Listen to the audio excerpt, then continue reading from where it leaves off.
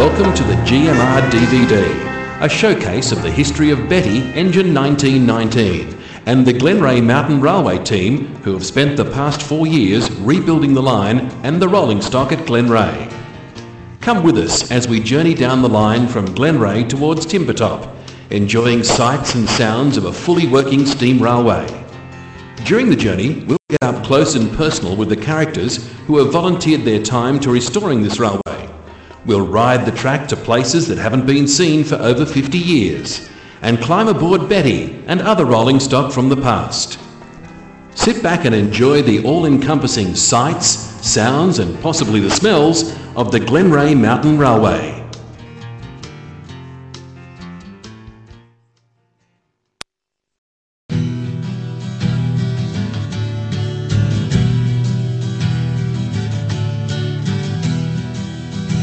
The wheels of time keep travelling on, travelling back home to Glenreagh.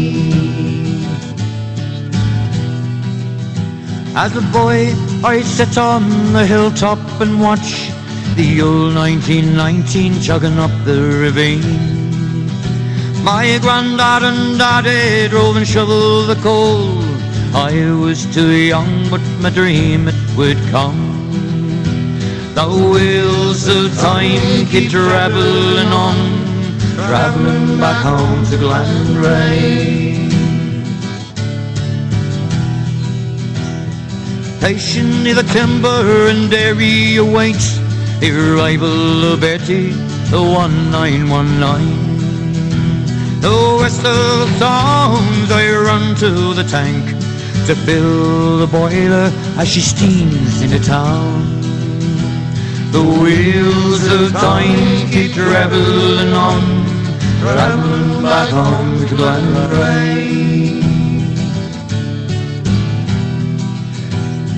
Bullock's profanities sound through bellbird and train.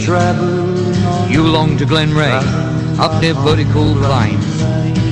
46 feet and 57 tons. A baby to most engines, built back in 1878 made to last the test of time. But times do change, and steam it was gone. The wheels of time keep travelling on, travelling back home to Glenreagh. Glenreagh Mountain Railway in 1989, through volunteer and hard labour, they reopened the line. The tunnels were dark, arid smell of the smoke. The memories of a young boy and the 1919. The wheels of time keep traveling on, traveling back home to Glen.